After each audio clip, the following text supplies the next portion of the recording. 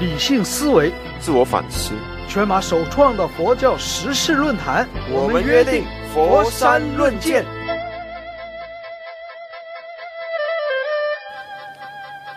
全马首创佛教反思交流激荡，你谈我谈大家谈。呃，大家好，欢迎来到这一集的这个佛山论剑。啊，那么呢，这一次呢，我们呃要讨论的那个课题呢，就是呃刚刚看到的一则新闻，就是呃当年轰动一时，在佛教圈也轰动一时了，有一个叫做 Buddha Boy，嗯，就是那个尼泊尔的一个小男孩在这边静坐了。啊，那个事件啊，啊，那么最近的这一则新闻就是他好像是在逃亡之中，嗯，就是被警察好像是通缉了，然后呢，又有一些什么，好像有一些暴力的那些案件，有一些好像是跟性侵犯的那个案件之类之类的都有。OK，啊，那么我我不确定大家可能对这个人物还有没有一些啊印象啊，啊，就是啊，应该是。我看都有十年了，是不是啊？有了，差不多，差不多有，超过应该应该有差，应该差不多有十年。那时候就是有一个呃，在尼泊尔有一个小孩在那边静坐，然后呢，就好像不吃不喝的啊那一类的，就坐在那一边，然后呢，就也上了不少的那些电视节目啊。假如你们上网就是 Google 一下。那个什么 Buddha Boy 啊，就是啊，就会就会找到不少他们的资讯。我还之前还有就是上网看一看是中文的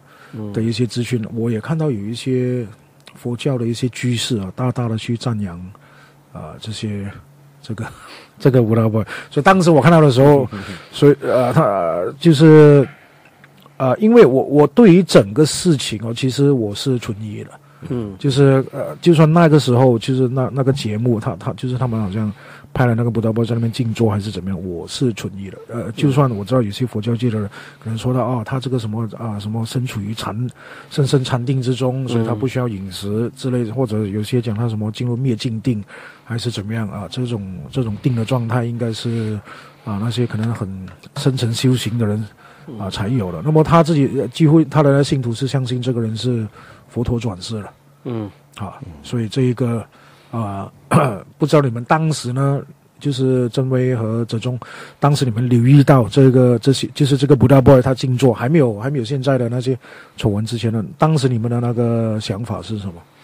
我一看到这个新闻的时候，首先是很很 impress 啊，因为他毕竟一个小男孩，在一个森林里面哦，不吃不喝，然后有 video 拍住，嗯，拍出他，然后觉得哎，呃，蛮。嗯，值得去探讨一下到底发生什么事情啊？嗯，然后后来我嗯，我遇到了一位呃撒迦派的喇嘛，他宣称说，他用的是他教他的一个坐火修行法。嗯，这个喇嘛现在据说是嗯成了一位人不缺了哈。嗯，嗯，很多里里面的人都知道是谁，所以他宣称说是他教这个小男孩那个禅修的法门。所以那个小男孩在森林里面练的就是他用的这个方法，这个也无法考证的哈。嗯啊，这个是第第第二让我也遇到很多人，就是佛教界，我觉得是我们渴望一个一个一个教主太久了哈。释迦牟尼佛也很远了哈，对，弥勒佛也还也是很远的，没有没有来到。所以突然间一个小男孩把自己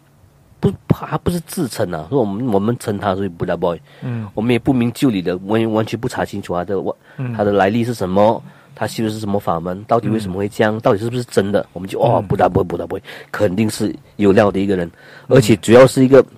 我看到一个样子，他长相庄严嘛。嗯，他现在是不大，不是讲很好看，把他年轻时非常，嗯，呃，非常呃好看英俊的一个小男孩。所以我觉得这个是一种人心空虚的一种向往。OK，呃，特别是我们需要一个教主的出现哈。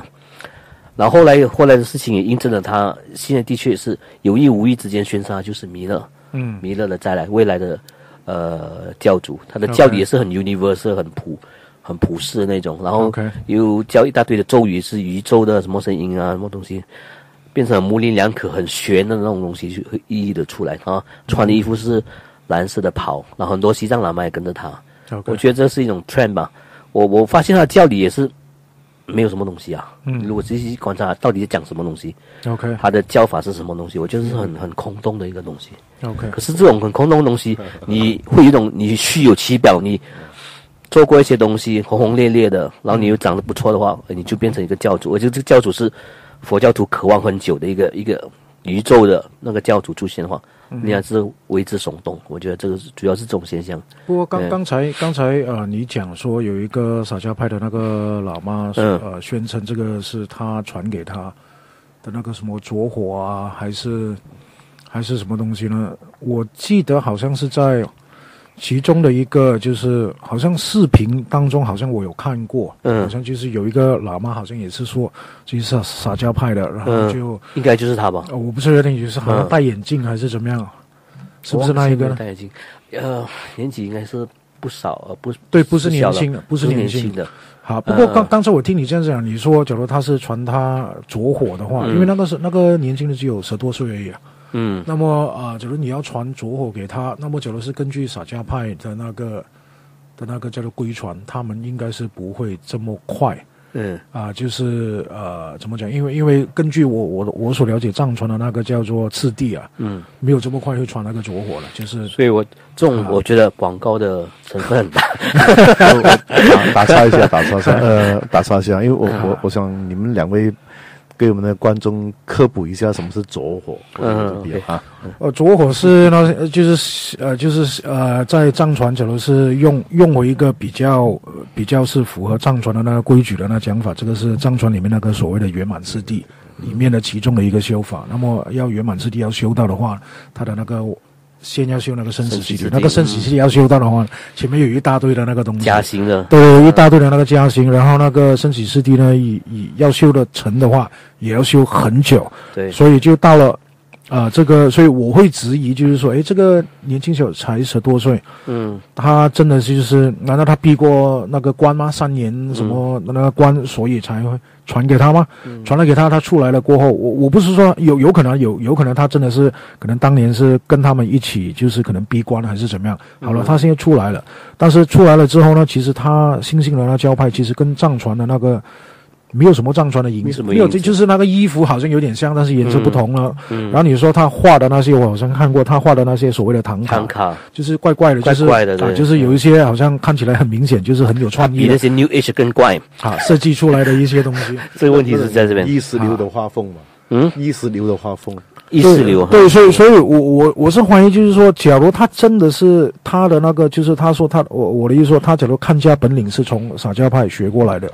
那么他应该会就是有一些东西会保留着嘛，但是我在他的那个教派里面看不到那个洒家派或者藏传的影子，几乎藏传也也不是看到很多，只是虚有其表的一些一些东西。有一个现象就是很多藏传喇嘛会变成变成他的追随者，OK，这是很奇怪的一个事情。你明明知道他的传承是不太明白的、不太清楚的、不太明朗的，可是他也是因为看到很多人，然后一个新的东西出来。嗯，他还把它当成一个所谓的人不切，就跟着他去了很多的，所以他很多的弟子穿那个蓝色，应该是没有记错，蓝色的袍，嗯，都是藏人呐。OK，啊，都是藏人，从另外一个世面跑过来的。你不觉得很奇怪吗？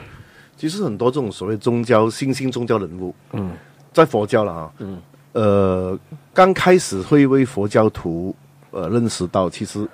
都是通过佛教老师或者是佛教徒本身的，嗯。这佛教你号称你懂这个知，你你了解正正确知见，你了解这这个呃，这依法不依人。可是很多时候，也就是佛教徒本身把这些看起来很有佛教 feel 的人介绍出去，把那种偶像介绍出去，结果呢，无形中养成了后来自己偏把他们讲成是什么附佛外道啊，又外道大邪魔的。嗯，所以当初我我看这个消息的时候，我就两个想法，第一个就是。诶，推崇他的又是佛教徒，嗯，你搞清楚他，OK，他是修行人，可是你搞清楚他修的是佛教吗？嗯，还没有搞清楚之前就本为活佛，又什么佛，又释迦牟尼佛，我觉得这个这边佛教徒应该反省一下，这是第一个。第二个，我其实心里心里不很不很好，我我觉得他一定堕落的，嗯，因为你想清楚哦，一个少年人，我我给你任何的天赋异禀，你在一个把一一个聚光灯下去演这种修行的把戏。嗯，你没有名利心，你不会出现各种各样人类这成长过程中的这种扭扭曲心灵。我不相信。嗯，你想哦，如果释迦真正牌佛陀，嗯，释迦牟尼佛当年，他如果他当年从皇宫跑出来修行这个过程里里面有人跟着 life，你觉得他修得成佛吗？嗯，你觉得他是第一个堕落？那那时候会被成为印度又一个堕落修行人？嗯，所以。过后又讲这个什么什么呃，又走火定又这个那个，嗯，真的好像他的很多教义牵强附会的东西就出来了。他的交易其实跟那些呃 New Age 的那些一般的学说有什么分别？嗯，说什么爱不爱？我跟你讲，New Age 学说比它更扎实 因为至少它有完整的体系跟理论。因为因为明白吗？虽然那些不一定是佛教，对。就是所讲的，但是是。他们已经有几十年的历史。对，它有 它有它的进化史。这个是突然间凭空爆出来的一个东西，对，然后宣称自己是什么什么，然后没有经历过任何的学习过程，一下子就变成一个佛的东西，对。而且人家会相信他是古佛不是佛陀再来，这才是比较荒谬的一个地方。对，其实假如是佛教徒，应该就知道佛陀不可能再来了。那么再来的话，他就否定了自己那个解脱。整个 就是整个佛了啊整个，这所以给大家知道一下。嗯，所以呢，就就算是藏传呢，有很多那些什么转世的那个，他们会说这个这个这位活佛是什么菩萨的转世什么，但但是都没有是释迦牟尼佛转世的，都没有啊。OK 啊、假如有的话，应该就是一些他新兴宗教他弟子会有。安南安南有，啊 就是其他的会有，但是嗯。释迦牟尼佛本身这个就是，就算在佛教，就是藏传佛教里面，一个看起来有一些人也会评论有点怪力论神，就是说，哦，这个又是观音菩萨转世，这个又是文殊菩萨转世，有一个笑话，有一个教派里面啊，据说一个他们很高的人不就，一个是弥勒佛转世，一个是呃，一个是弥勒佛转，一个是阿弥陀佛转世。然后这两个人不见是不合的，所以阿弥陀佛跟弥勒佛打架，所以这个很好笑，你明白吗？如果你宣称太多转世，这个转世那个转世的话，你会对呃使人家是变成一个大笑话。OK，对，其其实其实其实那个那个时候，当当他就是我我所看到就是说，诶，他好像静坐啊，还是怎么样？那么那些讲讲他什么是，比方说是呃，有些有些讲他是好像说进入那个叫做灭尽定，所以就不需要吃任何食物。不过当时呢，我看过，就是在 YouTube 上我看过，就是有一些那个纪录片了，就是国外的纪录片，去拍就是。去拍他的，那么那个用他的那个镜头呢，就是就是很 Zoom 进去 zoom 进去嗯看。其实我是看到他的呼吸的，嗯，就是我我的意思是说，假如你眼睛稍微敏感一点呢，你就意识到，哎，你看你看到他的那个那个呼吸的起落起落，金勇好，你是你眼睛有业障，因为你呼吸，所以看到他有呼吸，其实他是没有呼吸的。哦，就是就算我没有呼吸，应该也可以看到他 他有呼吸了。好了，因为这个这个非非常就是怎么样呢？但是我的意思是，假如是理论上就是进入灭尽定的话，那你的呼吸应该是没有了的。是是假如是用为佛教你所理解的，不过后来我再再去再去做一些 research 呢，其实那个纪录片，这个也给大家知道一下，那个人是不是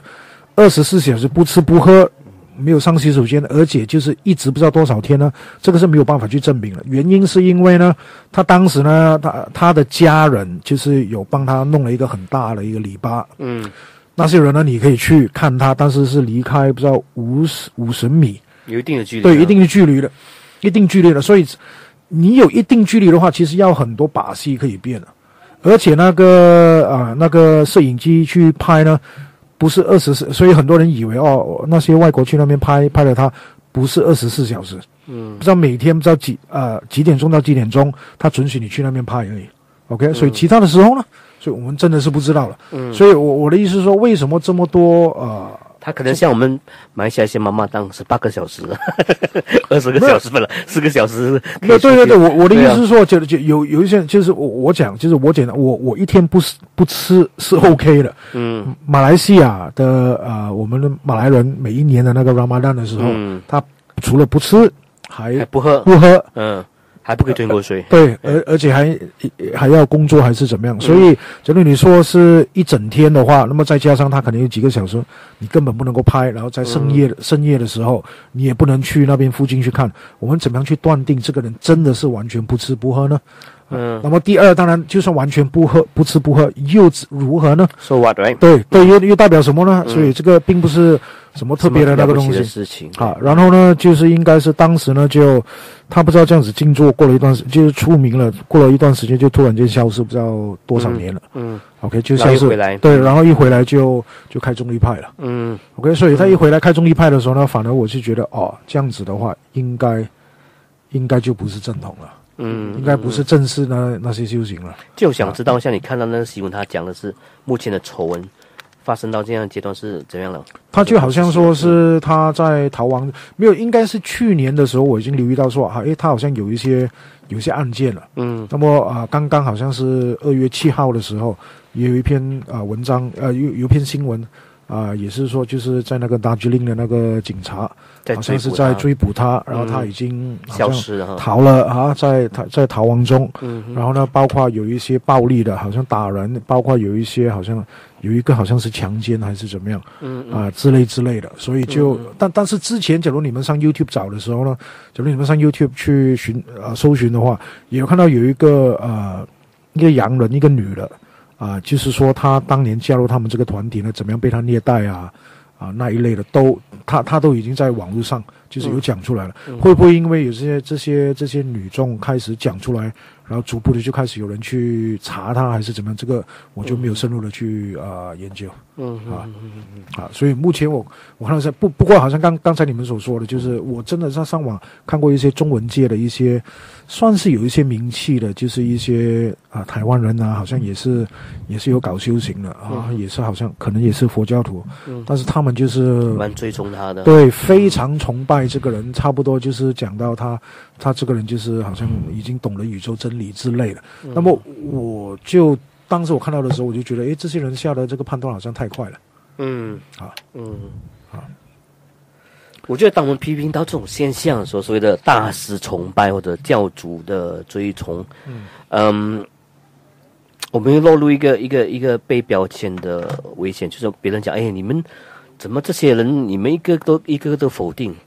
你会不会否定佛陀的成就或者说开悟？很多人就会这样讲，嗯，呃，然后就说，哎，你这样否定到底的话，那没有所谓的成佛这个事情吗？没有神通这个事情吗？嗯问题是我们不是在否定这个东西，我们是在理性的思考下面说，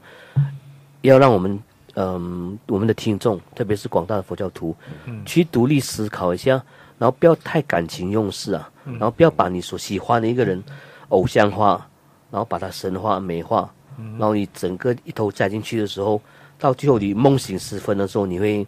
你会伤得很重，你会伤得很重。当你的梦想破灭的时候，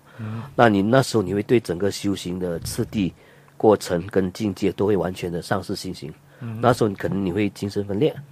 跟你会放弃修行，可能你完全不相信宗教的东西。所以这个危机是很危险的。Before 在这个还没有发生之前，啊，这种怎样讲醒悟没发生，最好在你还没有追追从一个人之前，你要好好的理性的去去判断。嗯啊，即便是他有神通说完，即便他有开悟，也是很多开悟的大师，我觉得他们很多也是会会会有丑闻的。嗯，这并不并不代表他不曾开悟过，而且开悟的境界有大大小小那么多的 level，、所以这个是很难很难去很难去讲的明白的事情。不过我们的告诫说，大家千万去小心，要小心去独立思考，好好的用理性科学的角度去探讨这个所谓的开悟啊、成佛啊、解脱的境界，然后不要美化你的老师、你的偶像，不要把你所喜欢的那个宗教人物呢偶像化。我觉得是最好的、最安全的做法是这样嗯。对，其实那个这一个这一个人物的那出现呢，就是就我的意思说，假如佛教界有人会去，好像刚才哲中兄所讲，有人会去推崇这个人呢，反而啊、确实好像是佛教界人把这些人就好像啊、就是打广告给呃其他其他的那些嗯嗯。不知道佛教徒知道这个人的存在。是，我们应该也就是可以呃，就是可能可以了解到，就是现有的这些会去推崇他的这个佛教徒，他们可能在信仰当中，可能也觉得也有一个缺口，就是啊、就是目前我们佛教圈有没有人修得成，他们可能也会这样，对。所以他们就看到可能哎有一个人好像看起来好像做弥补这个空洞。他坐在那边可以坐得很久啊，嗯。还是还是怎么样之类的。嗯。啊，就是定力深厚啊。啊，对，嗯。好像好像好好像真的有定功啊，嗯。还是怎么样啊？所以就变成了就啊，很快的就会对号入座了。嗯 OK，就是呃我我我的意思是说，我们先撇开它可能是假的，假的那个定功，就算好像是真的定功，它真的能够灭尽定啊，真的能够这样的话，是不是真的就代表他的那个呃烦恼就是有办法驾驭得到？嗯，OK，他有或者他有没有办法教到你如何驾驭你那个烦恼？嗯所以这一个就变成是一个更重要的一个一个课题了。嗯当然，当然有些人讲，但是他哦，有可能这个这个人呢，他的那个他所教的东西其实是对的啊。那我们就看他的那个讯息，就不要看他的那个那个他的什么成行为啊、就啊行为啊，嗯还是怎么样。那么，假如是这样的话，就就基本上就什么人都可以了。嗯假如是用这一个角度来讲的话，嗯那么总而言之，就是就算那个人他可以就是什么啊，吃喝玩乐、杀盗淫啊，什么东西都来，但是嗯他教的很好，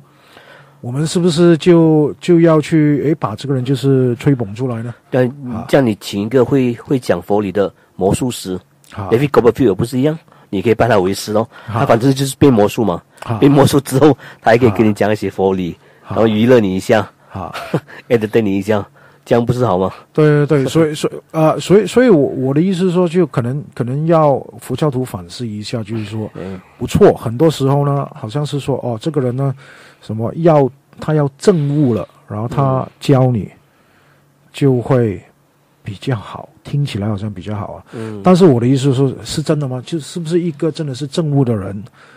他教是不是一定好呢？嗯这个你好像把所有你学佛学的好不好，所有的那个责任是交给一个老师已经政务的人，嗯已经政务的人。OK，、好，所以你你真真的佛教徒应该这样吗？嗯嗯还是还是呢？假如我们再讲另外一个，那么既然那个这已经证悟的人，他已经留留下了一个经典或者一个经论，他已经把他的经验全部写了下来。嗯我我们先假设那个是真的那个证悟啊，嗯他先写了下来，所以我们从经典上，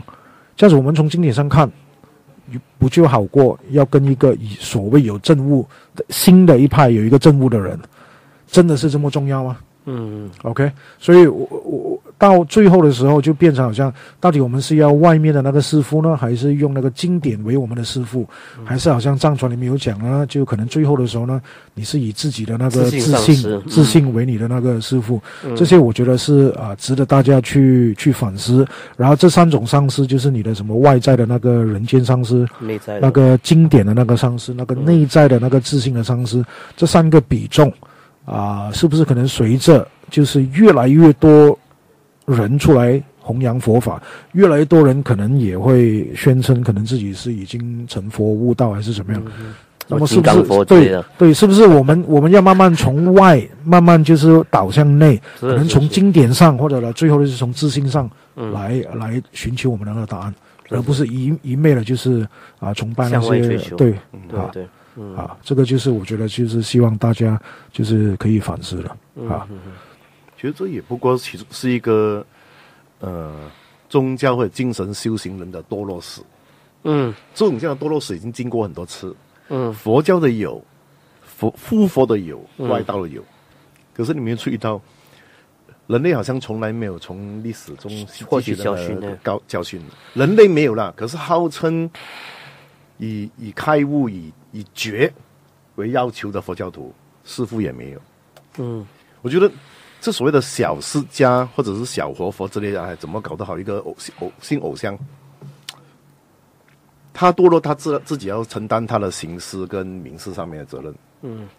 但可能佛教徒对这件事情上的吹捧，或者是盲目的跟从，好像从来没有反省过。嗯哼这是不是这才是这个这件小小 case 更值得让我们去讨论和专注的东西呢？是的是的要不然是开玩笑嘛，对不对？嗯跟建勇刚才所提的，如果他他已经将他的真悟真的啊，假如是真的，嗯将他真悟或者是他的修行的方式集结成理论，嗯那少不是你跟理论就可以了啊？对啊，嗯你为什么你一定要跟着那个人呢？你继续依依那个人来干嘛？你这种跟粉丝追捧粉丝的追捧明星粉丝有什么分别？嗯而且你把一切都交给一个你认为真悟的人或者有神通的人，嗯。那请问一下，你完全依他，一点自己本身的努力都没有，嗯。这个符合佛教精神吗？我觉得我记得 Jack Canfield Jack Canfield 写一本书叫《狂喜之后》，他这本书是探讨呃所有的禅师啊，西藏的仁波切啊，还有南传的禅师，他们的生活所谓的有正量哦，有正量有开悟过的这些禅师和老师，他们开悟之后的生活跟嗯平凡的人、平常人有到底有有没有什么不一样？嗯，包括他们的起居坐卧、他们的生活、他们的性生活，嗯，答案是什么呢？一样的，嗯，完全一样的，嗯，所以 在这里，在这个这本书就告诉我们说，结论就是用平常心来看待这个东西，嗯，不要把上司完美化、神化，呀，以同样的地方，你他们可以达到境界，你我们也可以达到，就是一样的嘛，完全平等的东西，所以不需要去崇拜或者是过度的美化他们。我们有个有一个有一个缺缺点，就是我们喜欢把修行的境界把它完美化。然后，任何你有批评这个东西的，OK，你就是你的错，因为这个东西是不可以被批判的，因为它是完美的。嗯，这样呢会有自欺欺人的状态出现哦。就你，即便你知道那个东西，那个那个境界是不完美的，那个上司是有缺陷的，你还是盲目的去相信他是完美的，这个是很大的一种志气啊，我觉得，是一种精神妄想症的的的的发生，我觉得。对，其实其实好像刚才正面所讲的那个那些呃政务的人啊，所谓的那个政务了啊，这些叫假如用心理学来讲，这些就是那些人类的一些巅峰的状态啊，就是你你你出现了。是，但是呃，我要给大家知道一下，就是呃，我觉得宗教界里面呢，通常比较容易迷信，就是这种巅峰状态是永恒的。呃，因为宗教界里面就讲哦，你死了过后会怎么怎么样，达到什么境界？他所以那个境界应该是永恒。就是宗教最喜欢就是找永恒，永恒化东，所有东西都是永恒。嗯。但是好像我我们讲就是说，我我们用回简单一点，我希望大家可能要把这个东西放回来地球上哦，就是简单一点，就是说，就像像一个人呢，他念举重或者他身体就是面某种运动啊，他一直操练，操练到了某个境界。举例，我要举那个什么一百斤、两百斤、五百斤，好好不好？那个很夸张。好，我念到这样了，这个